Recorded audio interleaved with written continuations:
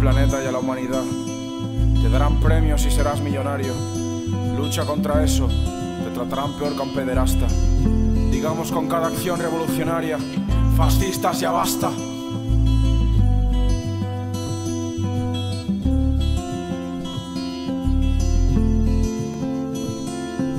Olvidaremos a los que la vida por nosotros dieron. Se dice rápido, pero la vida por nosotros dieron, joder. Los años pasan, no la estupidez que sustenta el poder. Pero no podrá comprar lo que lucharé ni todo vuestro dinero. Hay una verdad objetiva y empírica, es innegable y evidente. Que para forrarse políticos capitalistas mienten. El presidente solo es marioneta de la oligarquía financiera. Que dimita nada cambiaría, el problema es el sistema. Quieren que tema hablar claro. Que se vayan a la mierda, el mayor miedo es a estar callado. Si me meten en la trena, juro que se arrepentirán un día. Le jura la muerte que hasta muerto les molestaría. ¿Y que sabrás tú que tanto vas de poeta?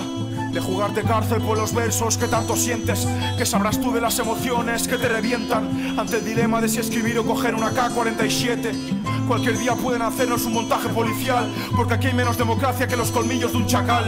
Nos pueden violar los derechos que les dé la gana, que luego serás tú el terrorista si defendiéndote les disparas. Encima te condenarán idiotas con camis de Guevara, que deben creerse que Ernesto no practicó la lucha armada. La rebelión de sobra justificada está por la declaración de derechos humanos, otra cosa es que lo estén ocultando. Si se creen nuestros amos, mordamos las manos que nos golpean, o no seres core insensible como ellos con justas ideas. Mientras haya capitalismo habrá resistencia. Eso no lo podrá parar ni su propaganda millonaria que nos desprecia. ¿Cuántos han sido asesinados en la cárcel y funcionarios lo han pintado como un suicidio? ¿Cuántos chavales de barrio condenados a la delincuencia para salir de la miseria? Este estado es un asesino serial que solo historia sería. Si no fuera por el miedo que impone a la gente, un poco consciente que empieza a desear que esto reviente. Pero si por lucha no te puede jugar ni una multa, ahórrate la pose de revolucionario que tanto te gusta. Que muchos y muchas dieron hasta su último aliento por esto, como para que se convierta en una pose molona no respaldada con hechos. Paletos dicen que Tarras o Grapo no son presos políticos. Deben pensar que se jugaron tanto por aburrimiento.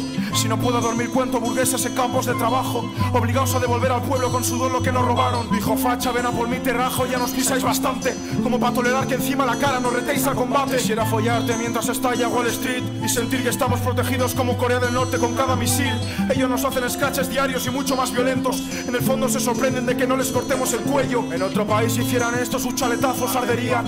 Pero este lugar siempre está a la vanguardia de la tontería. Los que más lucharon casi en el anonimato. Y tú pretendes darles lecciones borracho en el sofá viendo Gran Hermano. Eres hijo de la infanta Elena o qué mierdas te pasa. No vives en un palacio, sino en una humilde casa. Que el banco puede quitarte cuando le plazca.